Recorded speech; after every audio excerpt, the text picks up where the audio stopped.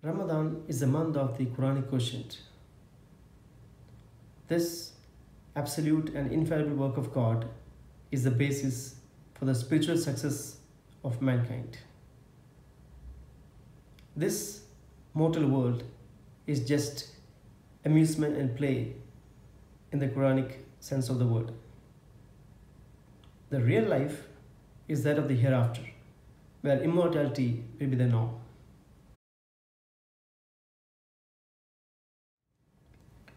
But surprisingly, even as Quran emphasizes on the triviality of this world, it has laid out a number of verses regarding the distribution of wealth which apparently has no spiritual significance.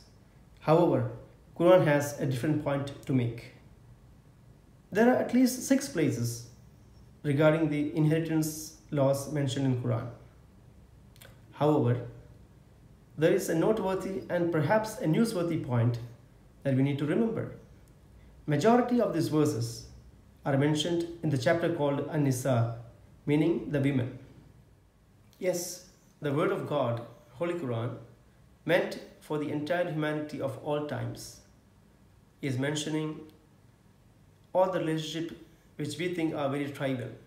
The father, mother, sister, grandfather, uncle, aunt, all these relationships are mentioned in detail regarding the inheritance laws of a deceased person, which only goes to show that life in this world may seem trivial, relationships may look silly, but everything has a significance, everything has a purpose.